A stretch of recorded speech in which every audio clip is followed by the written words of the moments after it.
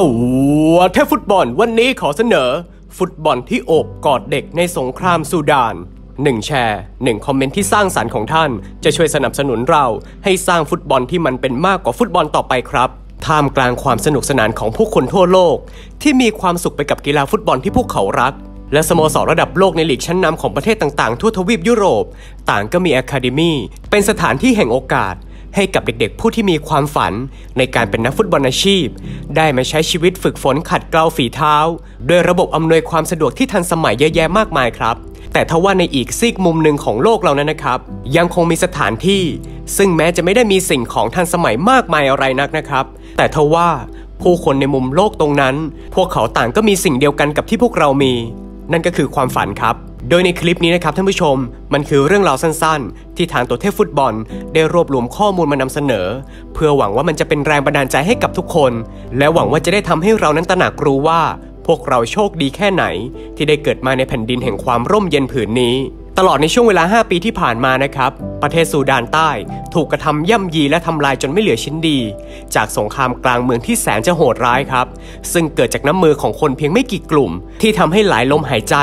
ต้องตายไปจากโลกนี้มากกว่า 4 0 0 0 0 0 ชีวิต พร้อมทั้งก่อให้เกิดผู้พลัดถิ่นอีกนับล้านคนเลยครับเหล่าผู้รอดชีวิตที่ต้องกลายเป็นผู้อพยพ ต่างก็ต้องรอนแรมมาอาศัยอยู่ในประเทศใกล้เคียง ไม่ว่าจะเป็นซูดาน เคนยาหรืออูกันดาในฐานะพลเมืองชั้น2แต่แน่นอนนะครับว่าก็ยังมีผู้คนที่ยังมีชีวิตรอด และตัดสินใจปักหลักอยู่ในประเทศซูดานใต้ อันเป็นถิ่นฐานที่พวกเขารักต่อไปเช่นกันครับ แต่พวกเขาเนี่ยก็ต้องอยู่กันอย่างระหวาดระแวงในทุกวินาทีชีวิต เนื่องจากความขัดแย้งของกองกำลังทั้งสองฝ่าย ซึ่งพร้อมที่จะเข้าปะทะกันได้ตลอดเวลา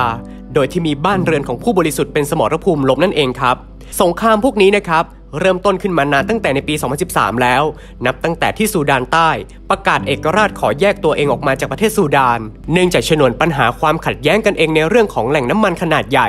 ถึงตรงนี้นะครับ อย่าเพิ่งเบื่อหรือปิดคลิปหนีกันไปซะก่อนนะครับท่านผู้ชม เพราะผมกำลังจะเข้าประเด็นตรงจุดนี้ว่า มันเกี่ยวกับฟุตบอลยังไงนั่นเอง แน่นอนครับว่าด้วยสถานการณ์เช่นนี้ในประเทศ ย่อมเป็นเรื่องยากในการใช้ชีวิตของเหล่าเด็กๆ ที่อายุยังน้อย ที่จะหางานทำก็ลำบาก แถมเด็กบางคนก็ถูกทำให้พลัดพรากจากครอบครัวของตนเองมาด้วย ตรงจุดนั้นเองแหละครับ จึงได้มีการจัดตั้งสถานที่ ซึ่งที่เรียกกันว่า Upper Nile Academy ขึ้นมาครับ โดยสถานที่แห่งนี้นะครับได้ตั้งอยู่ในเมืองเล็ก ๆ แห่งหนึ่ง ที่มีชื่อว่าลับโคนาในบริเวณภาคเหนือของประเทศซูดานใต้ มันคือสถานที่เล็กๆ ครับ แต่อบอวลไปด้วยกลิ่นของความฝันและความหวัง ของบรรดาเหล่าเด็กๆ ที่มีอายุตั้งแต่ 4 ขวบถึง 18 ปี ที่ต้องได้รับผลกระทบจากความขัดแย้งของผู้ใหญ่ จนทำให้เขาขาดไร้ซึ่งการเข้าถึงคำว่าโอกาส แน่นอนครับว่า สถานที่แห่งนี้ใช้กีฬาฟุตบอลเป็นธงนำในการหล่อหลอมเยาวชนเอาไว้ พวกเขามีการแบ่งช่วงอายุออกเป็นกลุ่มต่างๆ ครับ และจัดการฝึกซ้อมฟุตบอลกันขึ้นมาเอง นอกจากนั้นนะครับ ยังมีการจัดทัวร์นาเมนต์เล็ก ๆ ขึ้นมา เพื่อแข่งขันกันเองในสถานที่แห่งนี้ด้วย หลายคนนะครับอาจจะสงสัยว่าแล้วสถานที่แห่งนี้รอดพ้นจากห่ากระสุนปืน และระเบิดจากสงครามกลางเมืองที่ห้ำหั่นกันอยู่ได้ยังไง นั่นก็เป็นเพราะว่าพื้นที่ของ Upper Nile Academy นั้นนะครับอยู่ในความดูแลของสหประชาชาติ ที่มองเห็นถึงความสำคัญในความฝัน และความหวังของเด็กๆ เหล่านั้นนั่นเองครับ ลัดทุงกวาเคกวง ซึ่งเป็นประชาชนชาวซูดาน และเป็นผู้ร่วมก่อตั้งสถานที่แห่งนี้ขึ้นมา เขาได้กล่าวไว้ว่า ผมเชื่อว่ามีเพียงกีฬาเท่านั้น ที่จะรวมหัวใจของพวกเรา ให้กลับมาเป็นอันหนึ่งอันเดียวกันได้อีกครั้งหนึ่ง มันเป็นสิ่งเดียวที่จะนำความสุข ความสงบสุขกลับมาสู่แผ่นดินของเรา ความมุ่งมั่นของเขานะครับคือการสร้างสภาพแวดล้อมที่เอื้อต่อการเจริญเติบโตของเด็กๆ ที่มีความฝันแต่ว่าขาดโอกาส จากผลกระทบของสงครามที่กำลังดำเนินอยู่ และมันก็ได้ผลมากๆครับ เพราะหากว่าไม่มีสถานที่ ซึ่งที่เปรียบเสมือนโอเอซิสแห่งนี้ เด็กๆเหล่านั้นนะครับ ก็ต้องกลายเป็นคนเร่ร่อนตามท้องถนนอย่างไร้จุดหมาย หรือในกรณีที่ย่ำแย่กว่านั้น ก็ต้องตกเป็นทาสของยาเสพติด แต่แทนที่จะเป็นเช่นนั้นครับ ฟุตบอลได้มอบเป้าหมายในชีวิต และความหวังใหม่ให้กับพวกเขาแทน และมันก็ได้รับการตอบรับจากเด็ก ๆ ที่มีความฝัน แต่ขาดพื้นที่แห่งโอกาสเป็นอย่างดีเลยครับและในบรรดาเด็กๆ ใน Upper Nile Academy ได้มีเด็กอยู่คนหนึ่งนะครับ ที่มีชื่อว่าท็อดเมโด เขาอายุ 14 ปีเองครับ แต่ถือได้ว่าเจ้าหนูคนนี้เป็นเจ้าหนูแข้งทองเลยทีเดียวครับ จนถูกเรียกขานด้วย nickname ว่าอองตวนกรีซมันน์ โดยเจ้าหนูคนนี้นะครับ ก่อนที่จะมารู้จักกับสถานที่แห่งนี้ เขาก็เป็นเด็กที่ใช้ชีวิตอย่างไร้เป้าหมายใดๆมาก่อน จนกระทั่งเขามาพบกับโค้ชของ Upper Nile Academy ซึ่งได้สร้างความประทับใจให้กับเขา